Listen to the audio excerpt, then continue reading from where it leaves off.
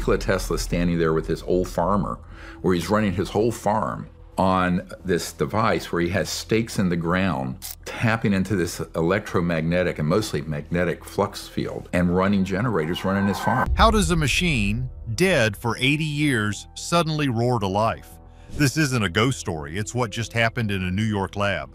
A long-lost device built by Nikola Tesla himself, a piece of his legendary Wardenclyffe Tower, was found in a sealed crate. When a research team tried to scan it with a harmless low-power tool, the machine exploded with power, throwing lightning across the room and forcing a 60-person evacuation. We'll show you the exclusive details of the event, the physics behind the surge, and the dangerous truth about resonance it just revealed. Tesla Estate, high voltage, do not open. You see, after Nikola Tesla passed away in 1943, his belongings were seized by the government. Most of his papers were eventually declassified, but many of his physical devices were scattered, lost, or locked away. This crate was one of them. For 82 years, it sat unopened. The team, armed with clearance and a lot of curiosity, decided it was time to see what was inside. The air was thick with the smell of old wood and dust. With a screech of metal, they pried the lid off. Inside, wrapped in thick, oiled canvas, was a stunning piece of scientific history. It was a copper coil as tall as a man, maybe six feet high. The wire was wound by hand with a precision that was almost hypnotic. It sat on a base of dark, heavy wood studded with gleaming ceramic insulators. A small brass nameplate was bolted to the base, stamped with a single chilling word, Wardenclyffe. This was it, not just a simple Tesla coil, but a high-frequency resonator, one of Tesla's final, improved transmitters built sometime in the 1920s, long after his famous Wardenclyffe Tower had been torn down. What many overlooked was that this device was a ghost. It was never cataloged. It never appeared in any declassified files. It simply shouldn't have existed. The team was ecstatic. They carefully moved the device to a testing bay in the basement lab. They weren't trying to turn it on. Their goal was simple, catalog it. One engineer, following standard procedure, brought over a modern spectrum analyzer. In simple terms, this machine sends out a tiny, harmless signal to map the resonance curve of a device, basically to find out what frequency it rings at like a tuning fork. It's a standard, safe diagnostic tool. The engineer connected the analyzer's probes to the coil's terminals. The signal was tiny, just 10 milliwatts, a whisper of energy completely harmless. The engineer hit the sweep button. The analyzer began to send its low-power signal starting at a low frequency and climbing. And then the coil responded. It didn't hum, it didn't spark, it screamed. A blinding 2 million volt arc of raw electricity exploded from the top of the coil.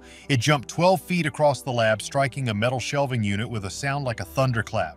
The shelf glowed white hot and molten metal dripped to the floor. The air filled instantly with the sharp chemical smell of ozone.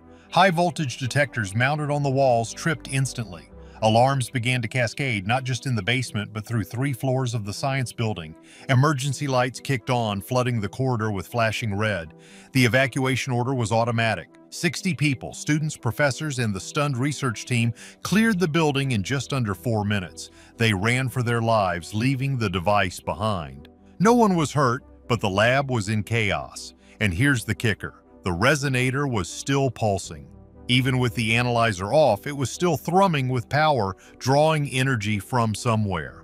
Finally, a panicked engineer managed to shut down every main breaker in the basement. The arc died and the screaming stopped. Silence. Then hundreds of questions. How does an 80-year-old unplugged device suddenly surge like that?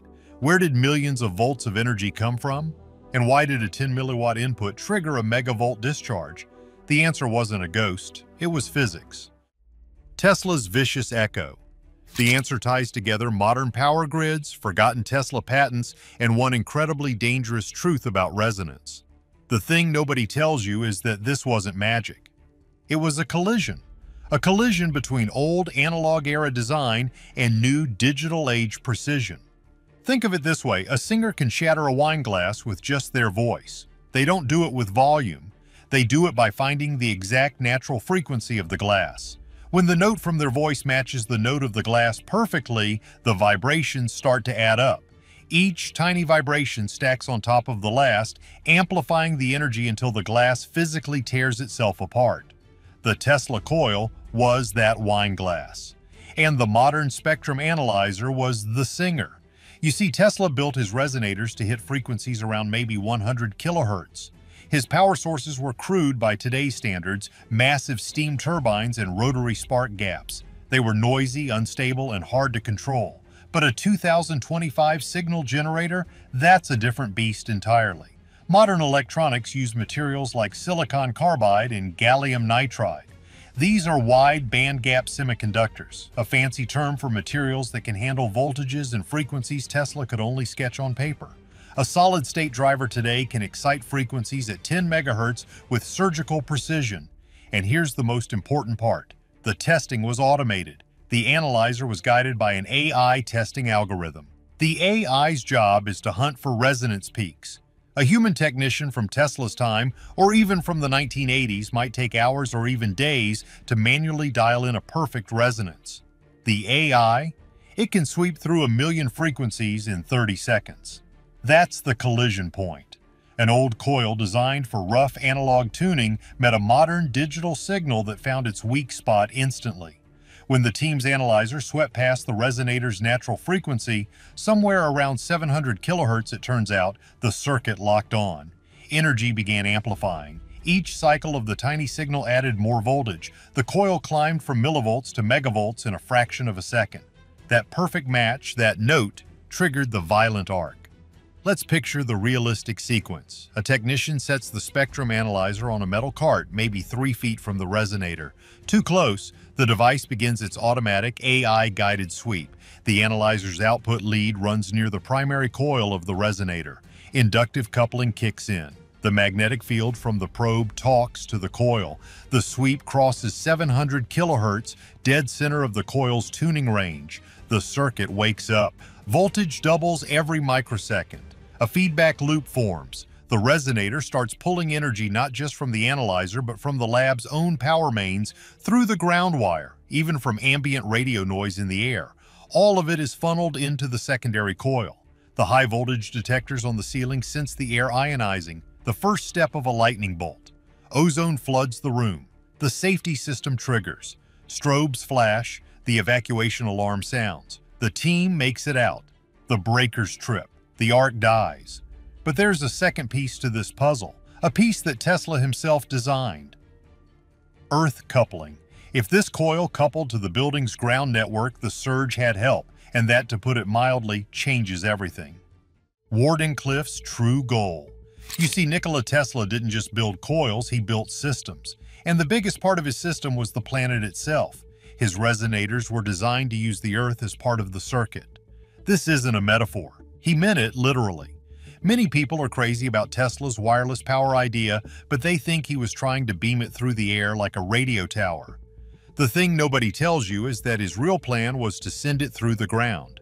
Back in 1899, at his experimental station in Colorado Springs, Tesla built his most powerful coil. And the first thing he did was drive a massive copper rod 200 feet deep into the ground. He tuned his coil so that the current flowed down into the soil and returned through the air. He wasn't just making lightning, he was ringing the entire planet like a bell. He wanted to turn the Earth into a massive conductor that anyone, anywhere could tap into for power. That was the real secret of Wardenclyffe. So how does that connect to a chaotic lab in 2025? Modern buildings are, in effect, giant grounding grids. Think about it. Every single electrical outlet, every metal water pipe, every steel rebar beam inside the concrete floors and walls, it's all connected to a massive electrical web buried under the floor. It's a spider web of metal. When the resonator surged, it didn't just arc through the air, it coupled into the building's ground system. The pulse found those paths. Current flowed through the electrical conduits, through the rebar, even through the moisture in the concrete itself. Suddenly, any nearby piece of metal became an antenna. The filing cabinets, the ventilation ducts, and yes, the metal shelving unit that caught the 12-foot arc. For a brief, violent moment, the entire lab transformed into part of the circuit. Picture your house wiring as that huge metal spiderweb. The AI-guided analyzer with its perfect surgical precision hit the one note that made the whole web hum, and that hum amplified the power to a terrifying degree. The system wasn't haunted, it was optimized by an AI that had no idea what it was waking up. No malice, just math. This explains the 2 million volt surge. It explains the chaos.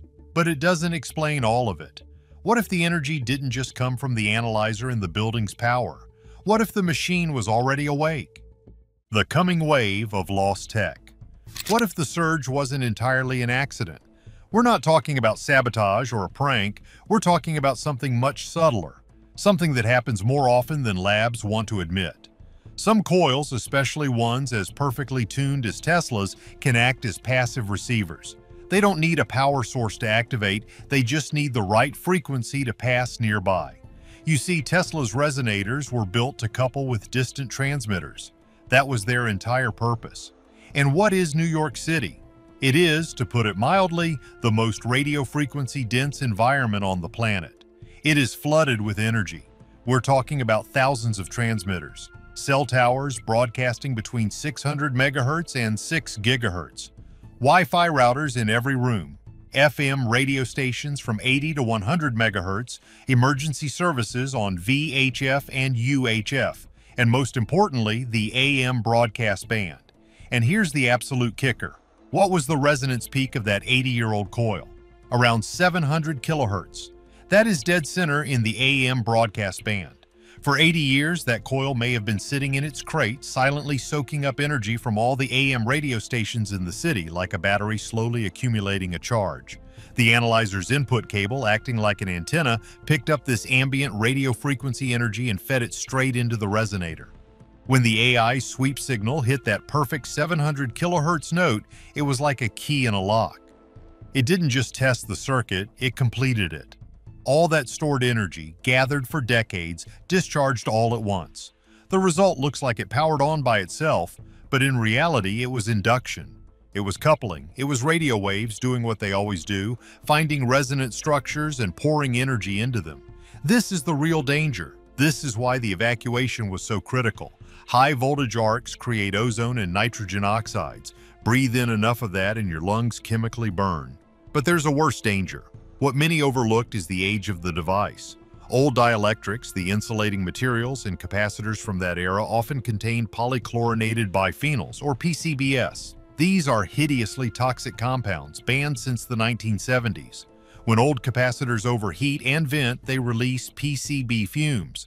Those fumes can cause neurological damage. The evacuation wasn't just for the sparks, it was for the air. The thing is, people watching this are looking for a mystery. Are we missing a key detail? Did this all happen overnight or was this a ticking time bomb? This lab chaos is a warning. Universities and museums hold thousands of these forgotten devices, industrial relics, Cold War prototypes, a brass coil that looks like a sculpture might be a volatile hazard, just waiting for the right cell phone signal or Wi-Fi frequency to wake it up. But here's the unbelievable upside. This incident isn't just a failure, it's a blueprint. Engineers can finally learn the design secrets buried in this artifact. We have to remember, Tesla built this by hand. There was no simulation software, no supercomputer modeling. It was pure, unfiltered intuition, a connection to physics our sterile labs have lost. And with that intuition, he achieved staggering efficiencies. Efficiencies our best modern designers, with all their terabytes of data, still struggle to match. By studying how he did it, we could unlock a new age. This isn't just about convenience. We're talking about fundamentally safer wireless charging for our homes and vehicles. We're talking about efficient power beaming, keeping vital drones in the air indefinitely. We could even develop revolutionary medical implants, powered right through the skin, no surgery required for a battery change. So let's close the loop on what happened. An antique resonator, a museum piece, surged with catastrophic power. It wasn't ghosts. It wasn't hidden batteries. It wasn't some long-debunked perpetual motion trick. The cause was far more tangible. Resonance made it possible the perfect forgotten frequency. Coupling made it dangerous. The old device hijacking the new. It wasn't plugged in, so is Tesla's machine still on, silently gathering power right now? Tell us your theory below. Like and subscribe for more.